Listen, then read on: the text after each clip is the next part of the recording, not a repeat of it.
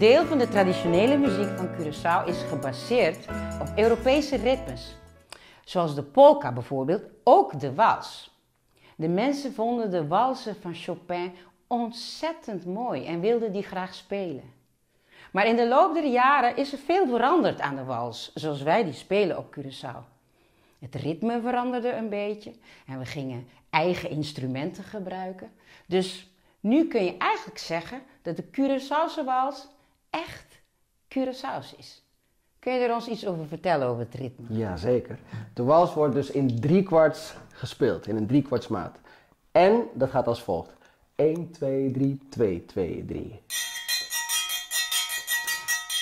En wat is dat voor instrument? Dit is de wiri.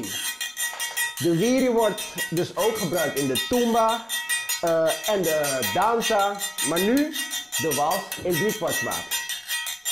1, 2, 3, 2, 2, 3. 1, 2, 3, 2, 2. Alberti Giorita